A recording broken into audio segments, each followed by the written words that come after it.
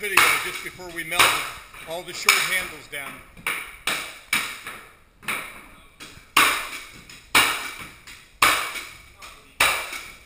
I'm willing to pay junk price for all the short handles out there,